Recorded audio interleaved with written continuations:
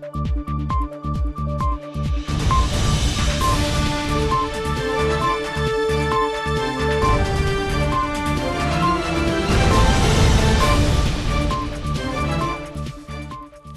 الله هذا موجز الأنباء. قال رئيس الوزراء نوري المالكي إن ما يحصل في العراق من فيضانات سببها البنية التحتية التي ورثتها الحكومة من النظام السابق. وأضاف المالكي في كلمته الأسبوعية أن حجم الأمطار أكبر من البنية التحتية لشبكة تصريف المياه. سياسة النظام السابق وتوجهاته نحو الحرب وإهماله للبنية التحتية وتصريف المياه وبناء المجاري ووضع محطات معالجة للمجاري من غرض الاستفادة من المياه التي يمكن الاستفادة منها. الإهمال الذي حصل من قبل المعنيين والدوائر المختصة بهذا المجال سواء كانت المحافظات والبلديات أو وزارة البلديات أو أمانة بغداد هذه كلها لم تعر اهتماما كبيرا إلى البنية التحتية وذهبت باتجاهات هي ضرورية أن يكون لدينا شوارع ومتنزهات وأبنية وكل شيء ولكن هذا الجانب لا يمكن أن يهمل. حجم الأمطار الذي جاء واقعا هو أكبر بكثير من قدرة البنى التحتية والمجاري على استيعابها ودليل ذلك أن دولا مستقرة مثل السعودية والإمارات وعمان وأكد المالكي أن المسؤول والمواطن يتحملان الضرر في شبكة تصريف المياه داعيا المواطنين إلى العمل والتكاتف مع اللجان التي تم تشكيلها لمعالجة الأضرار التي لحقت بالمواطنين. مجاري العراقية قد أصيبت بعمليات تخريب بعضها متعمد وبعضها إهمال. ومع الأسف الشديد البعض منها قد وضع فيه المواطنون مخلفات البناء أو زيت السيارات أو الأوساخ التي ترمى في هذه المجاري حتى كانت مغلقة. وما أحس الجميع إلا حينما داهمنا المطر وإذا بهذه المجاري مغلقة. وهذا لا يعني تبرئة للمسؤولين عن هذا العمل. أمانة بغداد سبع سنوات ثمان سنوات صرف على هذا الموضوع مبالغ كثيرة وكذلك وزارة البلديات والمحافظات والحكومات المحلية. ضرورة تشكيل اللجان الفورية لتثبيت الأضرار التي لحقت بالمواطنين. من أصغر شيء أصيب به المواطن من ضرر إلى أكبر شيء. من البيت الذي تهدم إلى الأثاث والممتلكات التي تضررت وبشكل عاجل هذه اللجان في كل المحافظات. القضية ليست في بغداد فقط وإنما في المحافظات الأخرى التي هي مسؤولية البلديات أن توجد علاجات سريعة إضافة إلى عملية تشكيل اللجان من قبل الحكومات المحلية في تسمية وتشخيص الأضرار لمعالجتها. شهدت العاصمة بغداد أمطارا غزيرة الليلة الماضية ما أدى إلى غرق مناطق حيوية في المدينة. مواطنون عبروا عن استيائهم الشديد من هذا الأمر وعدم معالجة المشاكل الزميل لعرب القحطان والتفاصيل.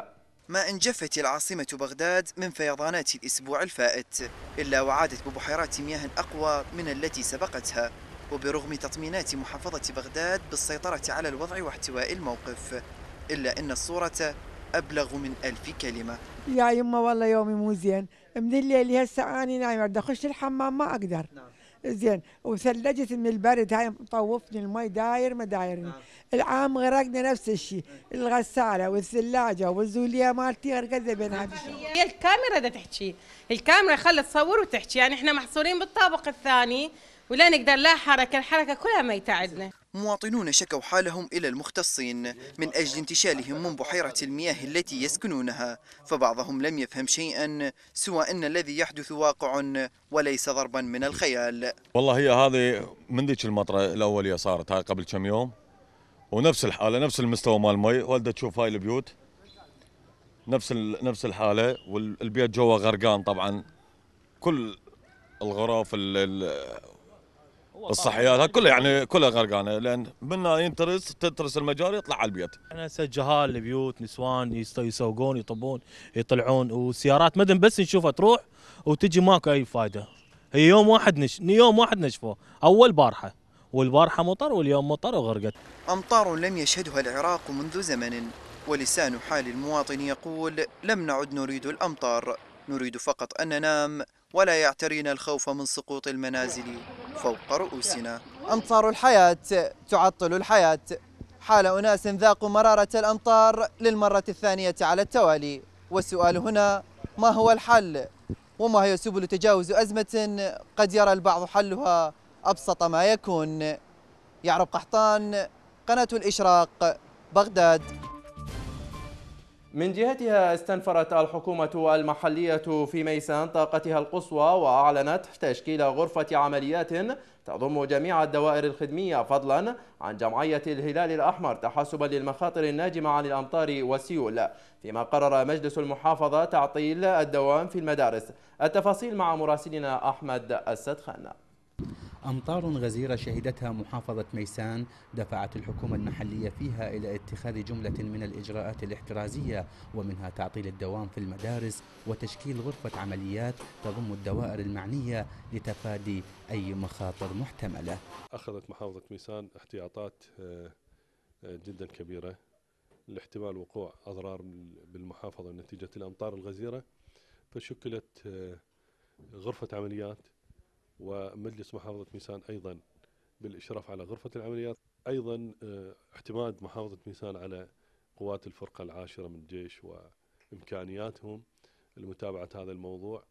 ومجلس محافظة ميسان أصدر قرار بتعطيل الدوام يوم الثلاثاء والأربعاء فقط للتربية. جمعية الهلال الأحمر أعلنت هي الأخرى حالة التأهب القصوى ووفرت المواد العينية والغذائية للحالات الطارئة. آه، تهيأت آه، جمعية الهلال الأحمر العراقي وأخذت كافة الاستحضارات لهذا الغرض لغرض إغاثة آه، العوائل التي قد لا سامح الله تتضرر من جراء الأمطار والفيضانات. الأمور اللي اتخذناها هي الأمور اللوجستية اللي تتضمن آه، الخيم وتهيئة الخيم والمواد الغذائية والمواد الإغاثية إضافة إلى آه، تهيئة المتطوعين آه، لأي حادث قد طارئ قد يحدث لا سامح الله. مواطنون دعوا إلى إيجاد حلول جذرية لمشكلة تكدس مياه الأمطار في الشوارع والاعتماد على الشركات المتخصصة في مجال شبكات تصريف المياه.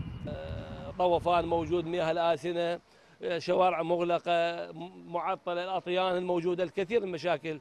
مما خلق في نفسه الإنسان ميزان التعب. نطلب من الحكومة المحلية ومن مجالس المحافظة أنه ينظرون بعين الاعتبار في الشوارع والمناطق الموجودة يعني.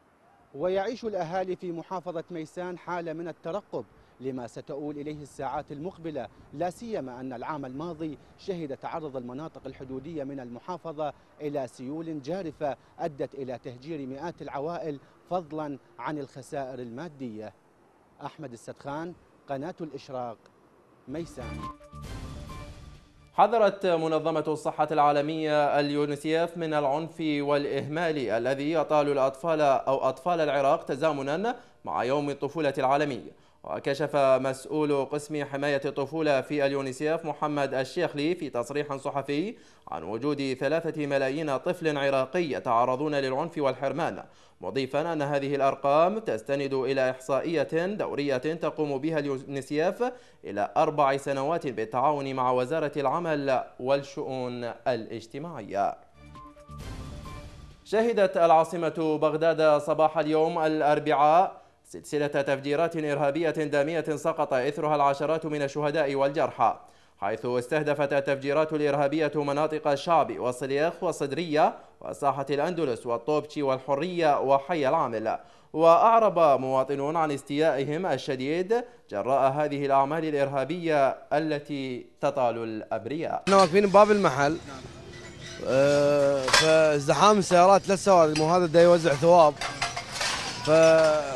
بالازدحام ثلاث سراوات فطقت ما نعرفها يعني حزام ناسف سيارة بس أكثر شيء سيارة. الضحايا يمكن حوالي خمسة ستة.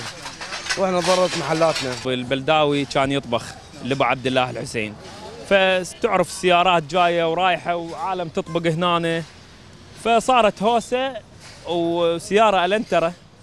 يعني صار فجأة انفجرت. انفجار يعني هز العالم سيارات احترقت الكي طلعت ملعتها العالم ظلت بس ال... يعني شو أقول لك يعني ظلينا نركض على العالم نريد نطلعهم ما قدرنا. احترقت العالم تأذت والحمد لله والشكر يعني. والعالم إحنا تضررنا محلاتنا تضررت وعالم سياراتها تضررت. إيجاد مصادر إضافية للطاقة أمر أصبح قيد التنفيذ لضمان ديمومة الحياة وحماية الطبيعة. جاء ذلك في مؤتمر عقد ببغداد لإيجاد سبل تفعيل استخدام الطاقة المتجددة في البلاد. أمير غازي والتفاصيل.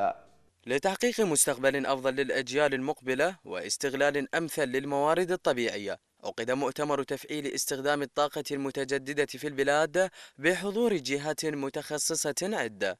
موضوع الطاقة المتجددة.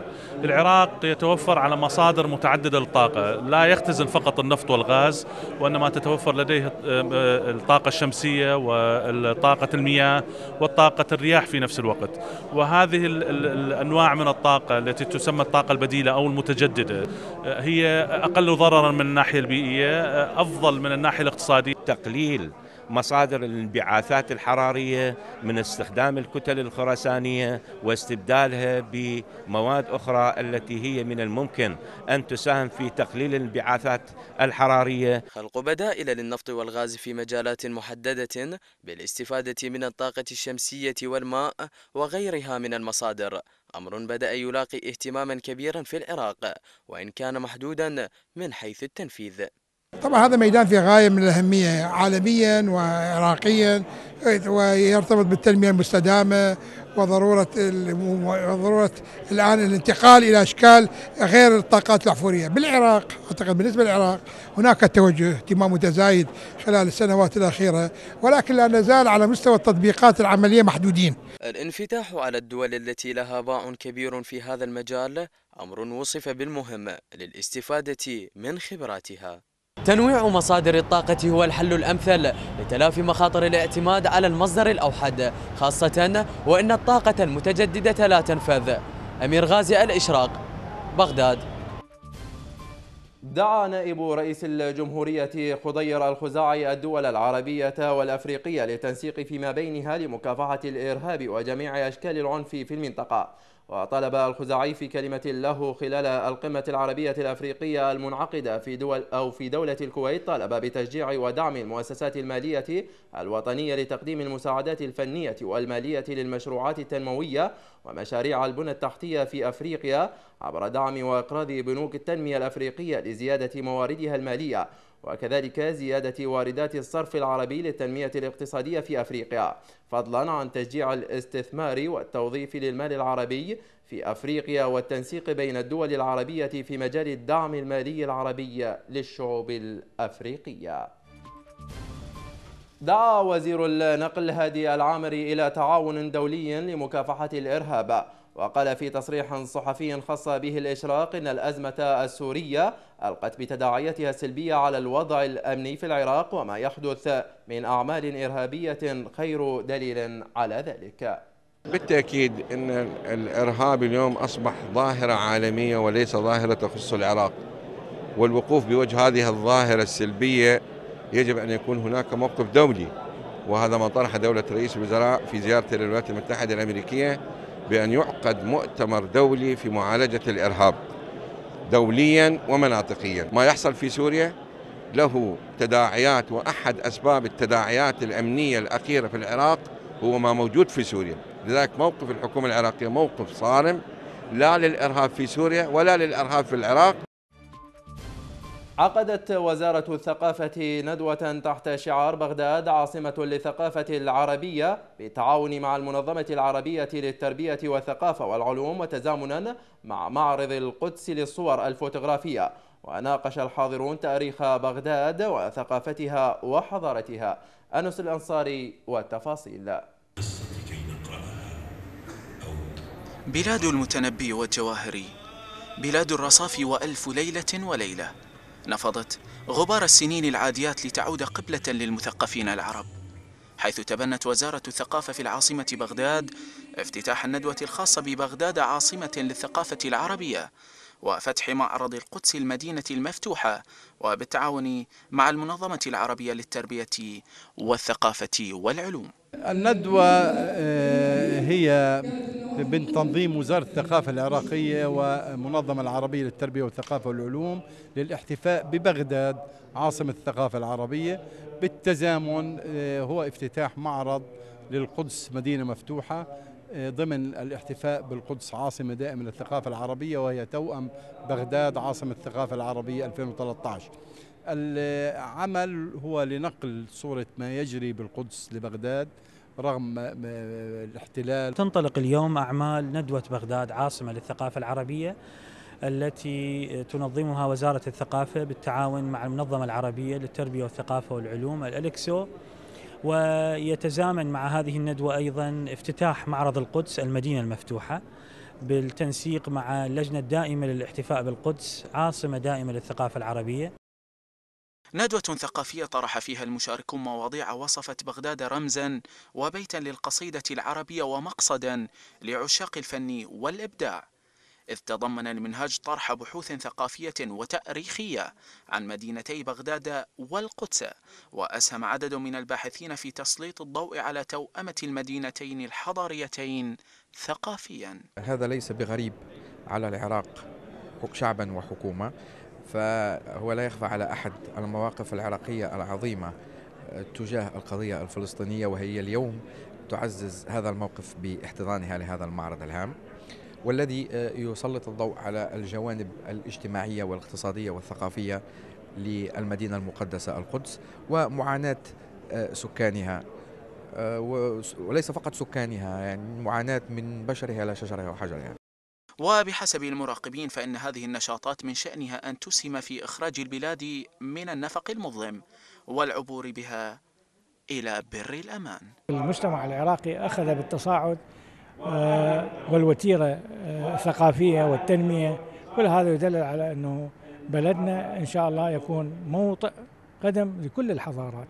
ها هي بغداد تفتح أبوابها وأحضانها مجددا إلى أشقائها العرب. لتثبت وتبرهن بحق أنها عاصمة للثقافة العربية. من بغداد أنس الأنصاري الإشراق وصف قائد الثورة الإسلامية في إيران الإمام الخامنئي قوات التعبئة بأنها تجسيد لعظمة الشعب الإيراني ومكامن القوة في إيران مشددا على صمود الشعب أمام أعدائه. وأشاد الإمام الخامنئي في مراسم تجديد بيعة خمسين ألفا من قوات التعبئة الإيرانية اليوم الأربعاء بتضحية قوات التعبئة في البلاد واصفا تجمع هذه القوات بأنه يمثل أحد تجليات ملحمة عاشوراء. نهاية الموجز. دمتم في أمان الله.